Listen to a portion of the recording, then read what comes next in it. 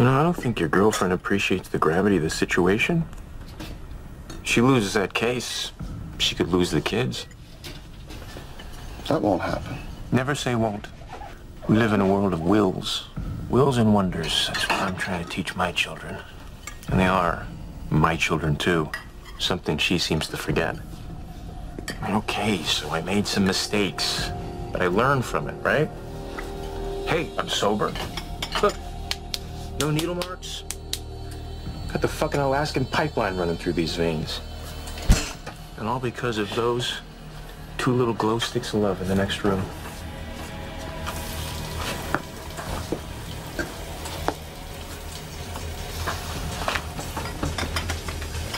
My heart beats for those two kids.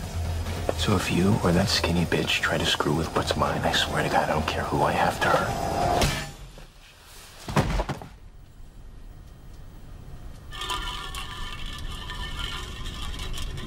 Harry's first rule was don't get emotionally involved. I think this is why.